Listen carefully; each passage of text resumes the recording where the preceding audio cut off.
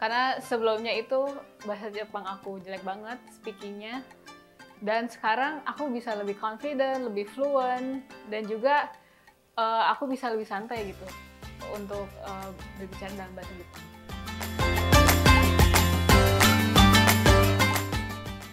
Konnichiwa, watashi wa Danika desu.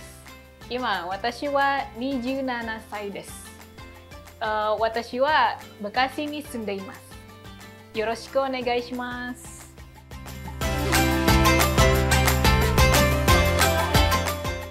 Uh, aku memutuskan untuk belajar bahasa Jepang karena dari kecil aku udah suka yang namanya baca manga dan nonton anime dan juga lagu-lagu Jepang. Tapi waktu itu aku cuma belajar basic Japanese aja. Karena aku punya plan tinggal di sana dan juga bekerja di sana. Jadi aku uh, saat ini belajar bahasa Jepang lebih serius lagi. Menurut aku dengan belajarnya bahasa Jepang ini bisa membuka opportunity yang baru. Misalnya kita uh, udah belajar sampai N3, lalu kita mau tetap stay di Indonesia. Nah itu mungkin kita bisa jadi freelancer, translator dari misalnya bahasa Indonesia ke bahasa Jepang atau bahasa Jepang ke bahasa Indonesia itu sekarang udah banyak banget dan kita nggak perlu eh dan pekerjaan pun uh, remote gitu.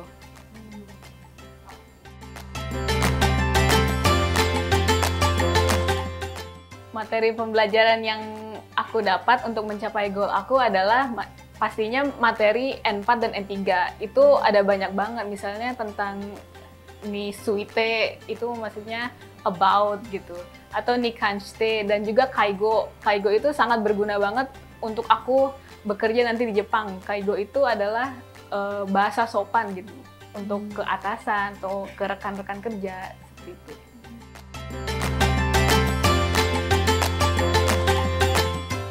Jadi di cakap itu ada yang namanya cakap club.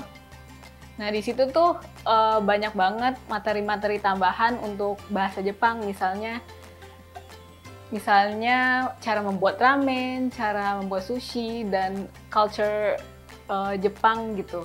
Nah, di situ tuh nggak cuma belajar tentang grammar doang, tapi tentang budaya di Jepang juga kayak misalnya uh, di Jepang tuh harus ngomong apa atau uh, cara membuat sushi yang benar tuh gimana sih? Nggak cuma nggak cara Indonesia gitu.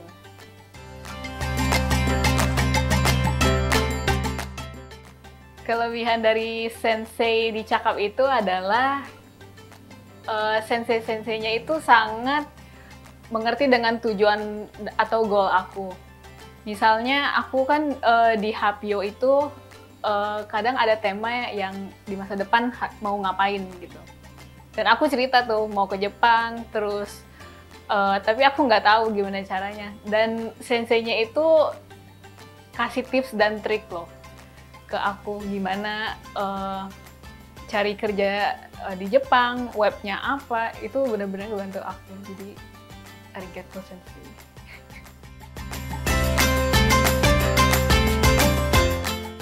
aku 100% recommended to everyone who wants to study Japanese at Chakap karena di Cakap itu senseinya semuanya baik, semuanya uh, fun, jadi uh, di kelas private pun jadi nggak nervous kan kadang ada yang nervous juga kan satu one on one gitu.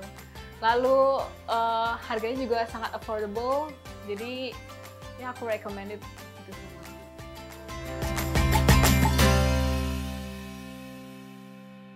Siapa cakap dia dapat